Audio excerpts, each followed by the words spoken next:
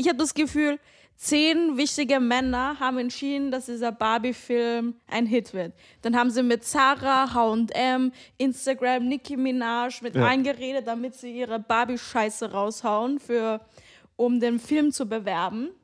Und alle fallen drauf ein und kaufen diese Zara Barbie-T-Shirts, die äh, pseudo-feministisch sind. Ja, weil ich meine, Zara produziert halt in Malaysia und China und keine Ahnung wo. Und tun Ja, aber dann von so, Frauen, das muss man sagen. Also das ist gerade äh, die Textilindustrie in Bangladesch und Kambodscha, das ist schon alles Frauenarbeit. Das ist gut. Also ich meine, in der Hinsicht werden Frauen ja schon auch Ja. unterstützt irgendwie.